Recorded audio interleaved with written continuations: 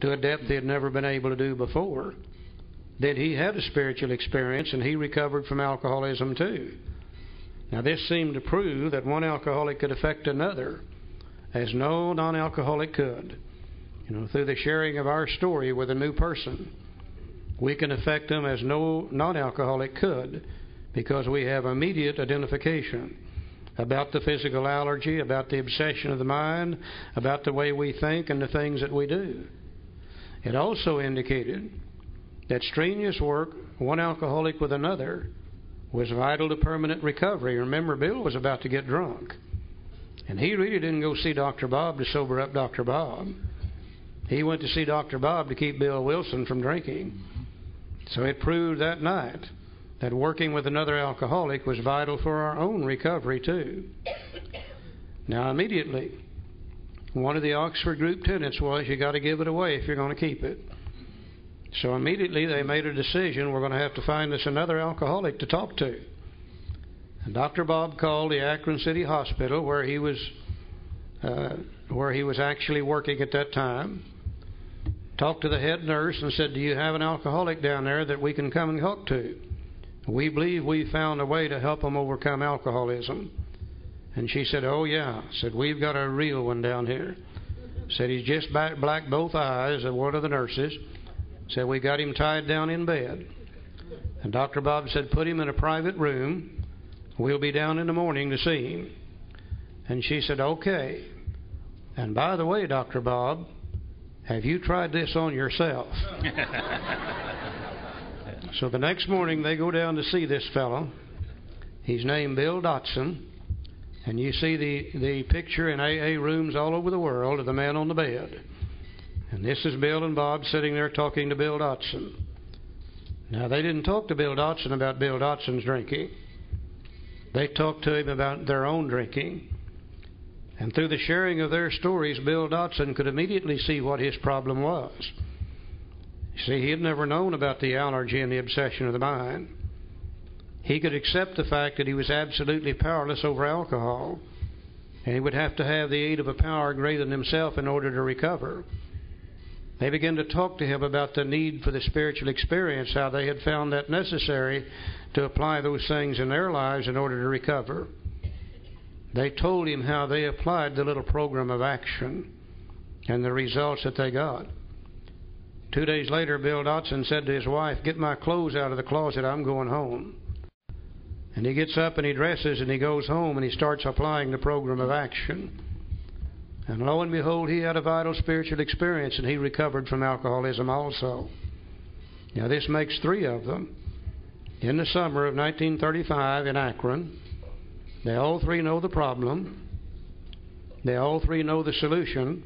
They've all three applied the program of action. They've had a spiritual experience and they have recovered from alcoholism. So this work continued. This work at Akron continued through the summer of 1935. There were many failures, but there was an occasional heartening success. You know, we always give credit to Bill and Bob in the first 100, which rightly we should. But if we would go back and think about that summer of 1935, these guys really had, they didn't have much idea about what they were doing. They had found a few simple things that had worked for them. And they would try this on many, many different people that summer. And if it worked, then they would keep it, and if something didn't work, they might discard that. Learning as they went through that summer working with people. I know one of Dr. Bob's favorite things was to fill them up with sauerkraut juice mixed with honey. he knew that there was vitamins in that sauerkraut juice that would help the body, and of course the honey was a form of energy.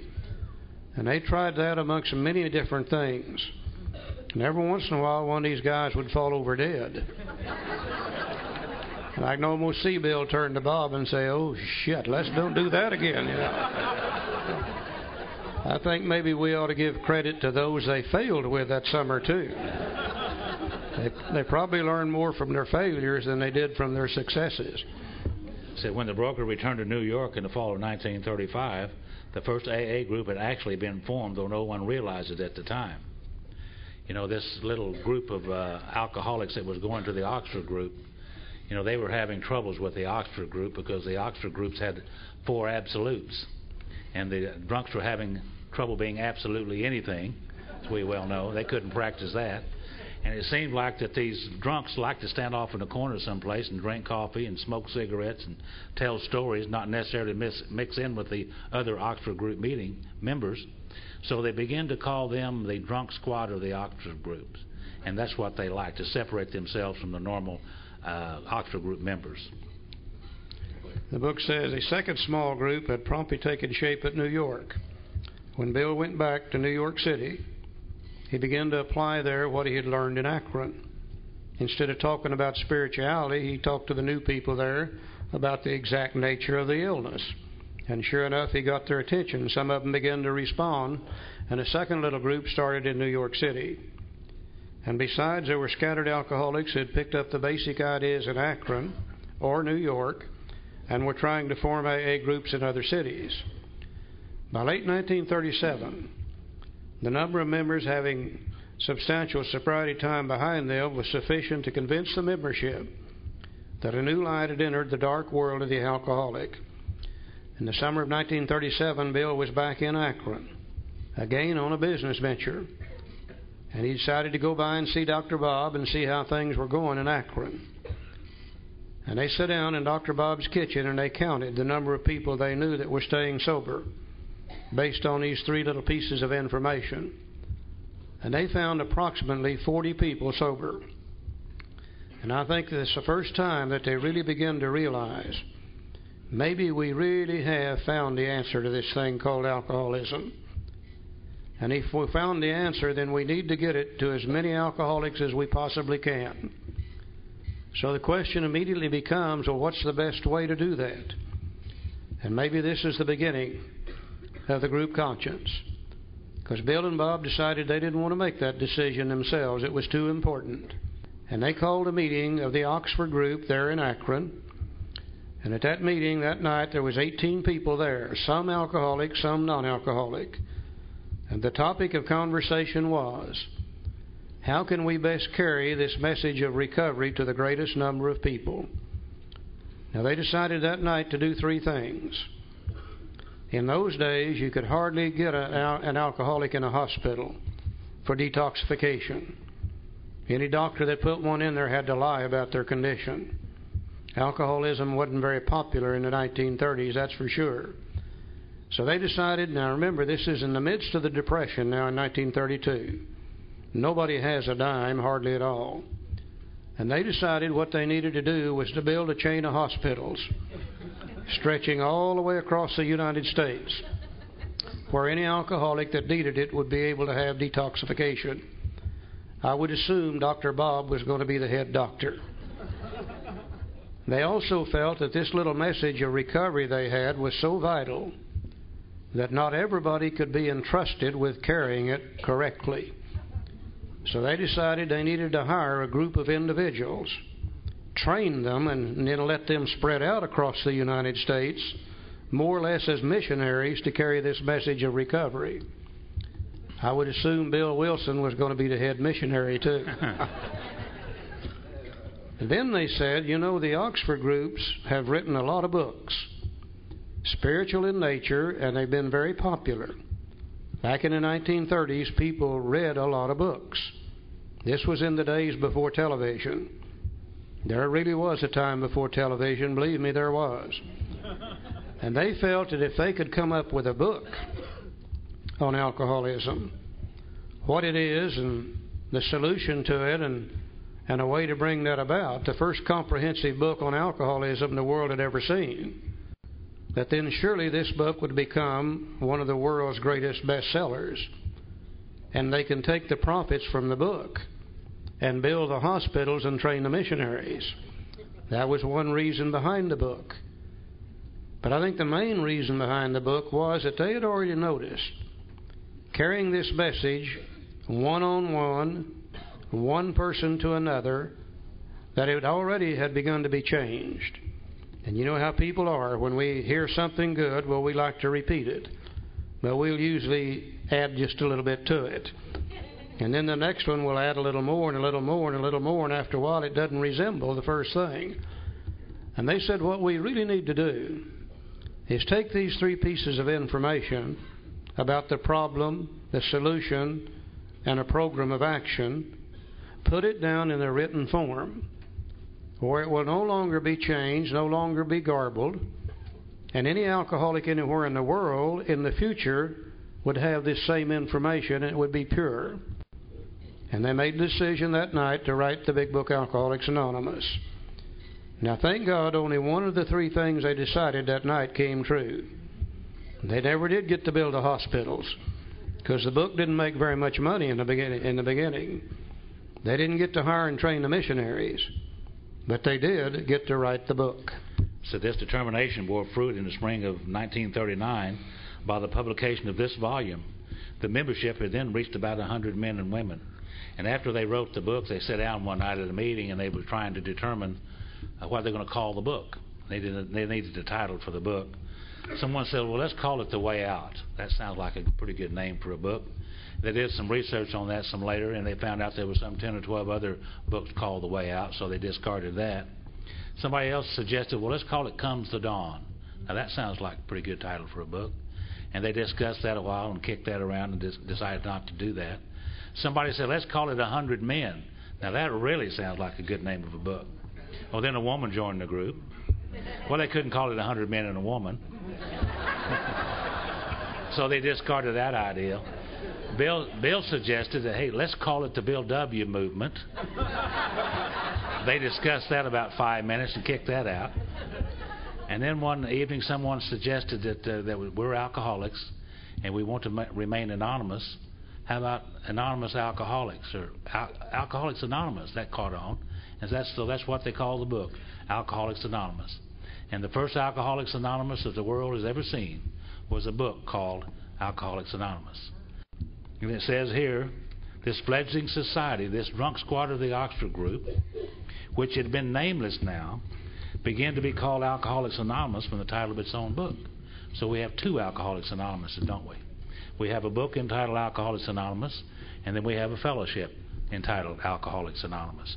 Two AAs, and we still have that today. Now, I think this is very important for us to think about. This group of people who had been nameless, or who had been known as the drunk squad of the Oxford groups, wrote a book, and in that book they put their program of recovery. And they called the book Alcoholics Anonymous. Then, after the book was published, they then decided to call themselves Alcoholics Anonymous. Now, in 1939, the program in the book Alcoholics Anonymous and the program in the fellowship Alcoholics Anonymous were exactly the same. The book then began to go out across the United States. And the first person out here in California got a copy of this book. Read it, studied it, did what it said, recovered from alcoholism. Started a group called Alcoholics Anonymous. The first person in Arkansas got a copy of this book, read it, studied, did what it said, recovered, started a group called Alcoholics Anonymous. Now, the growth of the fellowship began to come from the book, Alcoholics Anonymous. Now, as the fellowship began to grow and get bigger and bigger and bigger, they begin to notice something that the first 100 didn't have.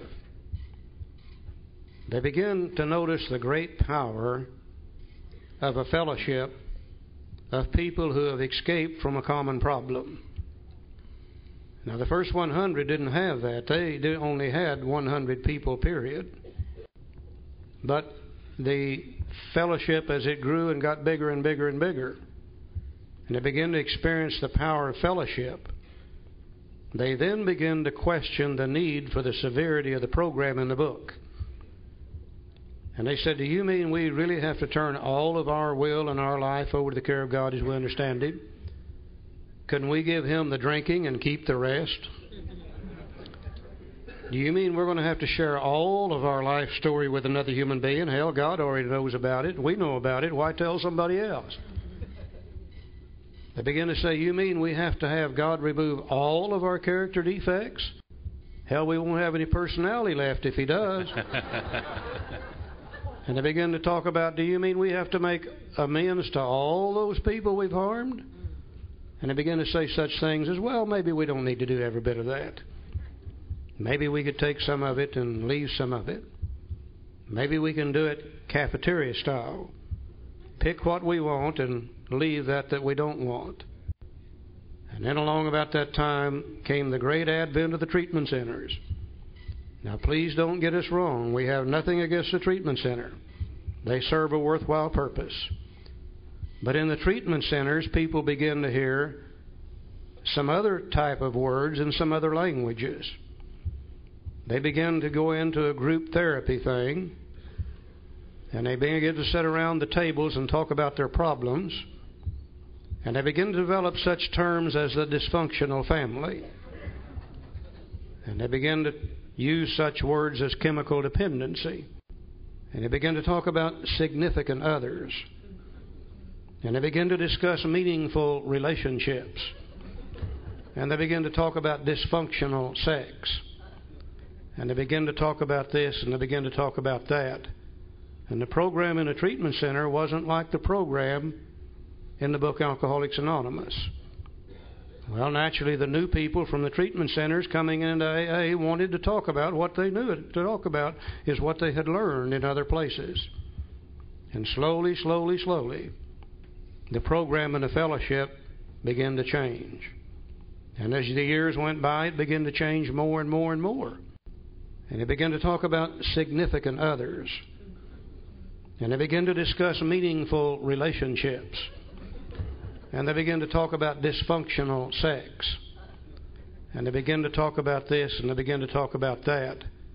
And the program in a treatment center wasn't like the program in the book Alcoholics Anonymous. Well, naturally, the new people from the treatment centers coming into AA wanted to talk about what they knew to talk about is what they had learned in other places.